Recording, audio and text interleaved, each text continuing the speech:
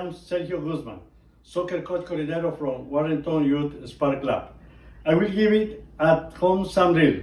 Remember, if you practice, it's good for you.